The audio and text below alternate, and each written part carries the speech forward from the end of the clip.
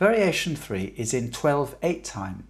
That's to say, it's in compound time with four dotted crotchets to the bar. It can be played comfortably on one keyboard. It's the first appearance of the canon in the Goldberg variations. This is a canon at the unison, and the following voice begins on the same note as the leading voice, just one bar apart. Here is the urtext with my suggested fingerings. You can download these pages as image files from my piano Facebook page, linked below. Here's variation 3 in an overhead keyboard view, played at around 64, a dotted crotchet beat.